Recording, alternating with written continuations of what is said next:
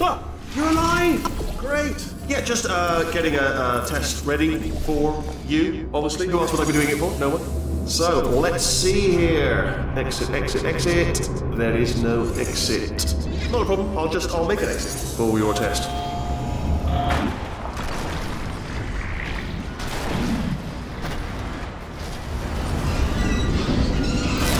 There. Bing. Good. Perfect. On you go. I'll be honest, after you told me to turn that beam off, I thought I had lost you. Went poking around for other test subjects. No luck there. Everyone's still dead.